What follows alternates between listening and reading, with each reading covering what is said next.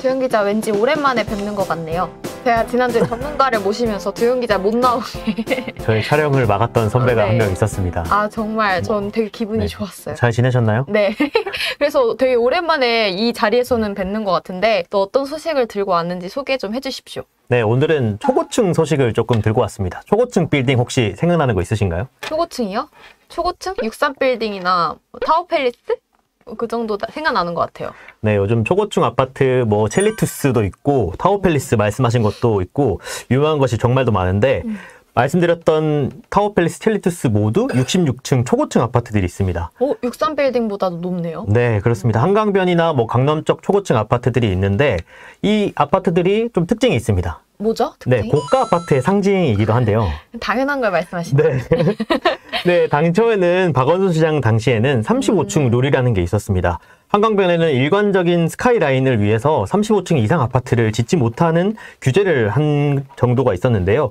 오세훈 시장이 오면서 이 35층 룰이 한번 폐지가 됐습니다. 음. 그래서 이 룰 폐지가 되면서 뭐 여의도나 뭐 한남 그리고 뭐 이촌 이쪽에서는 초고층으로 짓기 초고층으로 재건축을 한다는 바람이 정말 크게 열기가 뿜어져 나왔었거든요.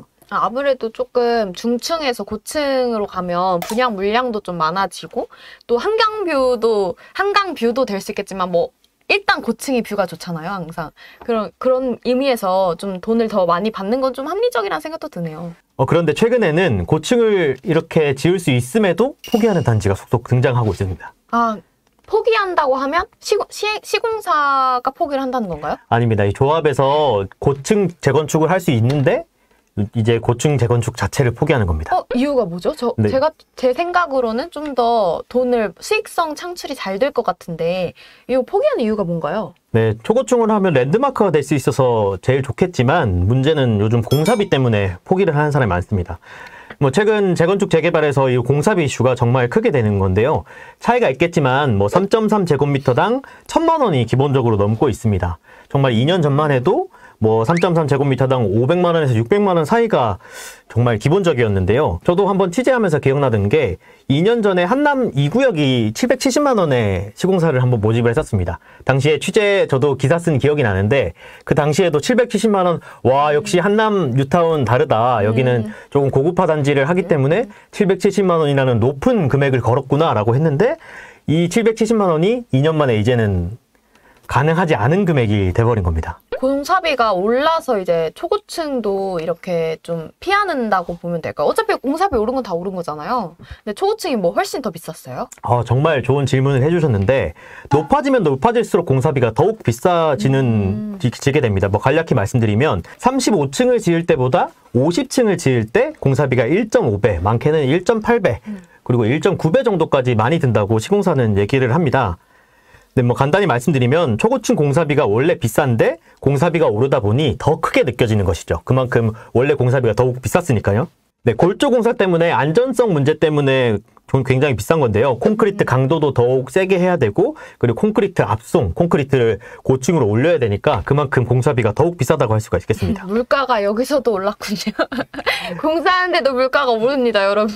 네, 요즘 뭐 라면값 이런 거 다 올라서 물가가 많이 그러니까, 올랐는데 어. 이런 건설 공사비 물가도 정말 많이 올랐다고 볼 수 있습니다. 그럼 초고층은 자재도 좀 더 좋은 거 써야 될 테니까 아무튼 훨씬 더 좀 비싸서 포기한다고 보면 될 수도 있겠네요. 네, 그래서 제가 한 가지 사례를 하나 들고 왔는데 한 조합이 35층과 49층을 재건축할 시에 음. 비교를 한 적이 있었습니다.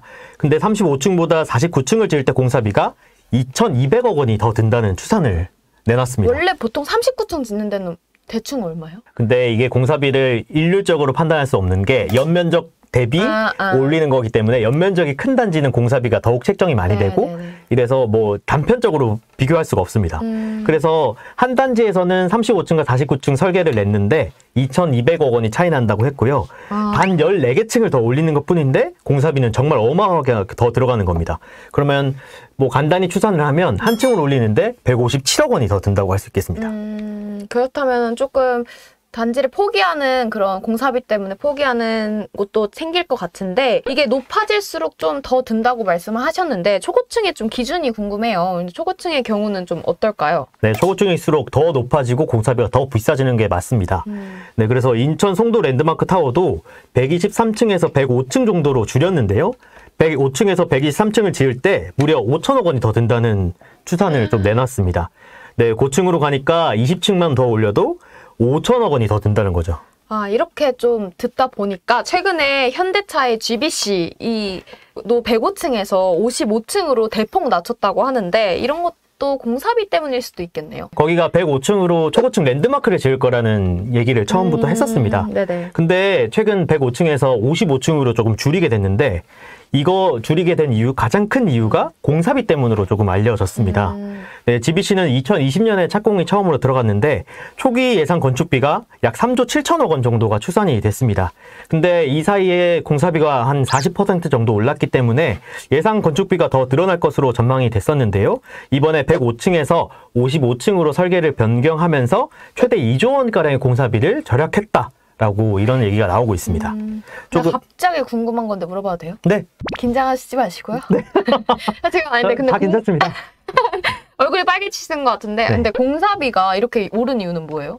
원자재 값이 상승이 조금 많이 되고 있었는데 아, 막 전쟁 관련 네, 뭐 러시아? 우크라이나 전쟁 음. 전쟁 때문에 원자재 수급 자체가 조금 힘들어지고 음. 그리고 코로나 때문에 인건비가 차지하는 비중이 공사가 크다 보니까 인건비도 조금 많이 오르게 됐습니다. 음, 뭐- 좀 전체적으로 물가가 그냥 난리라고 보면 되겠네요. 물가가 오르면서 초고층 아파트가 더 없어진다는 소리로 저는 좀 들리네요. 그러면 네, 맞습니다. 그래서 GBC 자체도 초고층을 포기한 게 업계에서는 뭐 2조 원 정도를 아꼈으니까 네. 요즘 경제 상황도 좋지 않다 아. 보니까 뭐 잘했다라는 이런 아, 이해- 판단도 나오고 있습니다. 괜찮은 판단이었다고 생각하는데 그럼 네. 재건축의 사례도 좀 있나요? 이런 경우가? 네, 재건축 아파트도 비슷한 사례들이 점점 나오고 있습니다. 뭐 정말 유명한 단지인 아크로 리버파크 그리고 래미안 원베일리 등 요새 반포가 정말 핫하거든요. 네. 반포 재건축 단지가 핫한데 부동산은 모르지만 반포 같은 건 알아요. 네, 와.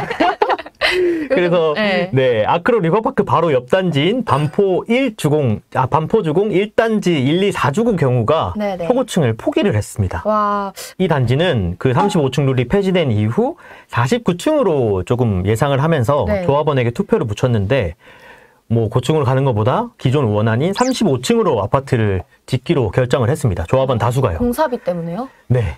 아쉽네요. 뭔가 많은 사람들이 누릴 수 있는 게 좀 줄어든 것 같은 기분이 드는데 좀 초고층을 지으면은 규제가 많아서 좀 포기한다는 말도 있잖아요. 근데 이것도 맞는 말인가 궁금합니다. 뭐 전부 다 돈이 많이 든다고 할 수가 있겠습니다. 50층 이상의 초고층 건물 건축물을 지을 경우 초건축 건축물은 30층마다 피난 구역을 하나씩 만들어야 됩니다.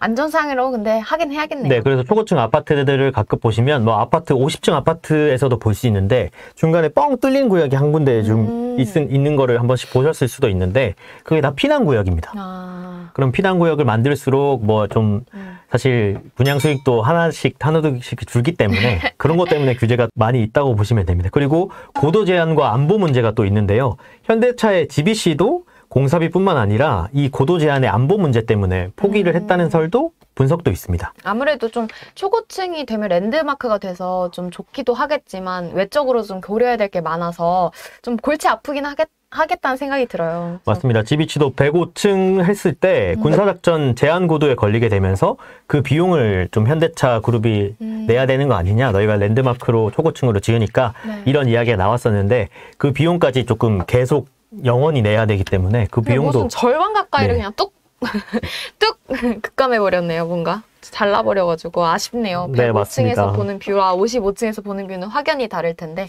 네, 그래서 초고층으로 지으면 정말 문제가 초고층을 하지 않아도 공사비가 너무 많이 올랐습니다. 아까 말씀드린 반포 1, 2, 4주구 같은 경우도 최근 뭐 정말 많이 이슈가 됐었는데 공사비가 1조 4천억 원이 증액이 됐습니다. 어, 네, 시공사 현대건설이 애초보다? 네, 애초에 이 가격으로는 수익이 나질 않아서 네. 뭐 이주와 철거를 끝냈지만 착공에 아직 들어가지가 않았거든요. 네. 그래서 착공을 하기 전에 이 공사비 증액 문제를 좀뭐 조합과 완만히 정리를 하고 가려고 1조 4천억 원을 증액을 조금 원한다고 했었거든요. 네.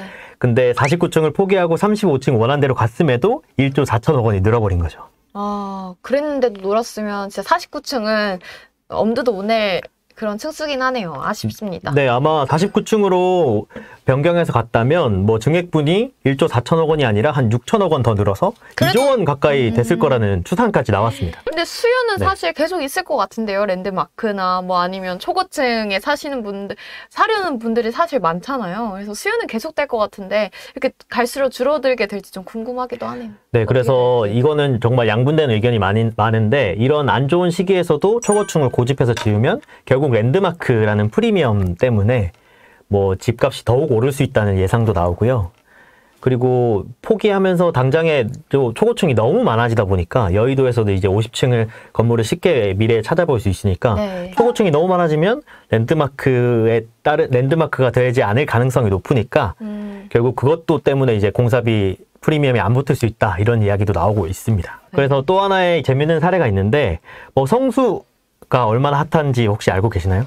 성수요? 성수는 패션으로 핫하지 않나요? 네, 성수가 요즘 뭐 정말 사람들이 많이 찾을 네, 정도로 네. 핫한데 성수역이 또 부동산에 어, 또 강남 3구와 용산구에 있는 최상급 입지라고 평가를 어, 받고 있습니다. 네네. 네, 성수동도 여러분이 많이 가보셔서 알겠지만 한강이 매우 가깝습니다. 음, 그리고 거기 재개발이 다 가능한 지역이라서 네. 그 재개발하게 되면 또 정말 높은 건물 어, 그리고 뭐 성수에서도 유명한 아파트들 많잖아요. 그런 식으로 다 음. 뽑아낼 수 있기 때문에 정말 유명한 지역인데 성수 1에서 4구역까지 뭐 재개발을 준비하는 곳이 많습니다. 근데 이게 1에서 4구역이 각각 초고층을 선택과 선택 안 한 구역이 좀 나눠지고 아, 있어요. 네. 네, 그래서 하나 재밌는 걸 얘기 말씀드리면 성수에서도 이렇게 초고층과 저, 초, 그 초고층과 초고층을 선택하는 지역과 포기하는 지역이 이렇게 나오고 있잖아요. 네. 그러면 이게 뭐 재개발이 한 10년 뒤, 15년 뒤에는 될 텐데 그때에 따라서 이제 집값이 어떻게 되냐라고 지켜보는 것도 정말 재밌을 것 같습니다. 그러면 이제 몇 년 뒤에 좀 어떤 결과가 있을지 사실 지금 초고층 세워놓은 잠실 같은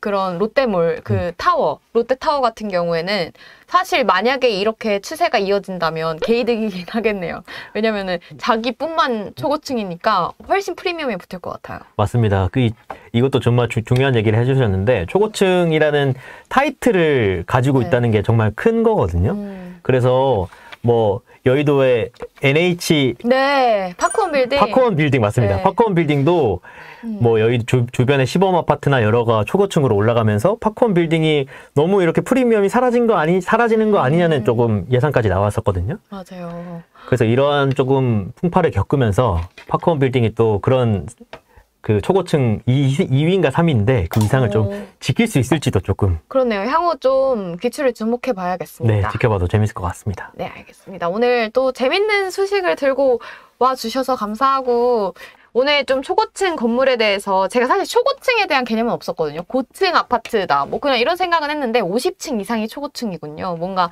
새로운 걸 알게 돼서 좀 새로운 시각을 알게 돼서 좀 좋았던 것 같고요. 저도 좀 더 두현 기자가 관심 가질 만한 소식을 들고 오겠습니다. 저희는 그럼 다음 주에 뵙겠습니다. 감사합니다.